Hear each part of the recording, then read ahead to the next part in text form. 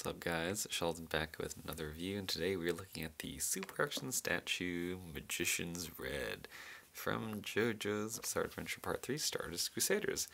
Uh, this guy is Avdol Stand. We'll talk about that in a second, so let's take a look at the box really quickly. So similar Harlequin pattern to Avdol, except this one's just like mostly red and orange.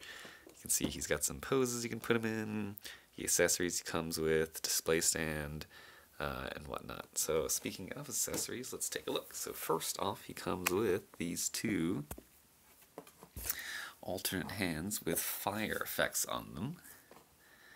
Very nicely done. You got one for each side, so you can have them like shooting fire, holding fire. And I do want to say they're painted and sculpted very nicely. Let me make this a little brighter right here so you can see. But you can see that the nails have like that yellow ish tint to them. There's like wrinkles in the hands. If we could focus, fucking. Okay, maybe you can see that there. They're very, very nicely detailed. Okay, so he's got those hands. He's got these two claw hands. Kind of just like this aggressive attacking hand. Nicely painted, nicely sculpted. These two kind of chopping hands right here. He also comes with two interchangeable legs, which I'll show you in a second. And he comes with these two clear plastic sound effect parts. I forgot, I think this one is Muda, Muda, Muda, I think. I'm not sure. And I don't know what this one is, though. Uh, but it is some kind of sound effect uh, for the fire, I believe. Okay. And that does it for the accessories. So very nice spread of accessories, very nice spread of unique accessories actually, so I'm really digging it so far. Uh, as for the figure, let's get a quick height measurement. So, in inches, he stands uh, just about 6 inches right here. And having him next to Avdol, let's see. So roughly the same height, a little bit bigger, sounds about right. There goes my ruler. Alright, so let's take a look at articulation. Uh, actually, let's talk about the sculpt and paint really quickly. Uh, so, he does kind of have a red tint to him, I don't think you can tell. Um, but as you can see, I mean, practically he's like, a, I don't know what to describe him, but it's a shirtless guy with a bird head, and his pants is made out of fire. Uh, but it looks really, really great the the pants or the leg are sculpted really really nicely right here. All that intricate sculpting to make it look like fire the shading uh, so it really breaks up the color right there to make it look like it's kind of like different colors and brightnesses. Uh, and then you know musculature all throughout shading in the back. So in terms of look it looks fantastic. Uh, okay so let's look at the articulation. So for the head he only comes with one head. Uh, and one expression right here, and it is on a hinged ball joint right here. So really good range of motion going up, and a pretty good range of motion going down too. Look at his feet all the way. Uh, and you can probably notice that the jaw is also hinged. And again, it's, it's painted inside too. Let if I can shine a light there for you to see. Yeah, I guess there's really not much to see, but it's just a joint there. But very nice hinge jaw. Uh, and then for the neck, it is on a ball joint right here at the bottom. So very nice snare motion. So you combine the two, look all the way down, combine the two, look all the way up, and then side to side.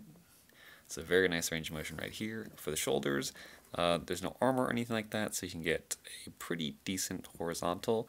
Uh, the shoulder caps are kind of big, so it, it does kind of hinder it a little bit, uh, but he does get the full 360 right here. You kind of see there's a cut right here that there's a bicep swivel on both sides. It's a peg into the bicep and into the forearm, so they can rotate right here, um, but you probably don't need to because of this bicep. For elbows, double jointed. Uh, let me rotate that around actually. So really good range of motion, way better than 90 degrees. Uh, and then for the wrist, let me see, there's flame right here, but I don't think it rotates. Uh, for the wrist, standard kind of ball peg right here. Uh, the sculpt does get in the way for the wrist because it does come down kind of far, so you can't move it too much. So it's right, it's fine like that, but you can't make it go any further up. Uh, you can kind of finagle it too, um, but the wrist will be hindered by this sculpt right here. Uh, for the ab, it is a ball joint right here, and then just a twist right here. And then so this is him going all the way forward, and then his this is him going all the way back. So uh, it's deceptive. It feels like there's a lot of range of motion, but when you actually do it, it's really not that far. Uh, but you get pretty decent side to side. Uh, kind of limited. Okay, for the hips, you have regular just ball joints right here. Uh, so this is about as far as it's going to go for the splits out sideways. There is a thigh swivel right here. Again, hidden pretty well thanks to the kind of asymmetrical sculpt and kind of how it looks right here. So thigh swivel, and then you have double jointed knees. Uh, let's see. So thanks to the sculpt, 90 is all about you're going to get. Uh, let me see if it's any better than the side. Yeah, just about 90. And then for the boots and ankles, you actually get a swivel at the top of the boot right here. Uh, and then you get the regular ankle articulation. Let me just do it on this side. And it's kind of dark. Let me bring the light closer. Okay. Uh, and so for the ankle right here, uh, the sculpt does come down on the side, so it does limit the articulation a little bit, but pretty decent range of motion if you're pointing the toe. Uh, pretty decent range of motion going up, and then there is a rocker right here, but again, the sculpt might get in the way, but let me see. Oh wow, hold on. Never mind, that's just the boot. Okay, so you do get it here. Uh, okay, so let's talk about this accessory right here, though. So these are two alternate legs because this guy is essentially made out of fire so it's supposed to make it look like he's flying right here so all you do is you pop the leg off at the knee right here and this is actually the first time I've done it so all you do is you pop it off right here uh, and then you just pick the right side I believe it should be this side because the flames are on the outside of the and then you just peg them in you just stick them in like that. And there you go. That's all it takes. And that way you can just make it look like he's floating up in the air as complete fire. So it's a really, really nice effect. Super cool. Uh, so let's see. After looking at the whole thing, I gotta say, I definitely do recommend it. If you're a fan of JoJo uh, and you happen to have Avdol, this is a no-brainer. Uh, you can't have the user without the stand. And likewise, if you're gonna get this character, or this figure, you're to have to get Avdol too.